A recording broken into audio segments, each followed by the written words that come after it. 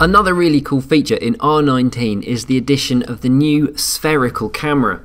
This spherical camera will allow you to export virtual reality images that can be played through a variety of different pieces of hardware um, and supported on YouTube's 360 degree viewer.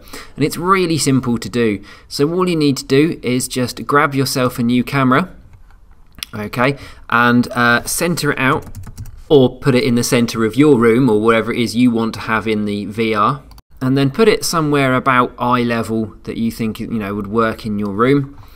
Let's and then under spherical tab of your camera okay you can see that there's this new one go to enable okay and that simply allows you to have a 360 degree view all the way around.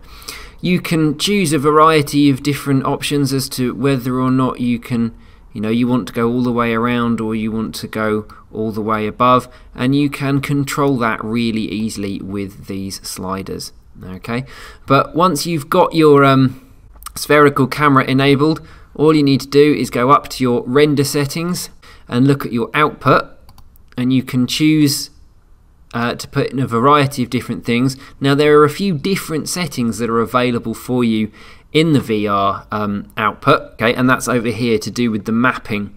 Okay, the most standard one that you need is uh, lat hyphen long, uh, latitude and longitude, and its recommended settings are 2000 pixels by 1000 pixels. Okay, so it's a, a two to one ratio.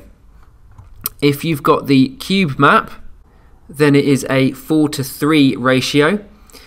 If you use cube map 3 by 2, then as suggested, it is a 3 to 2 ratio of pixels.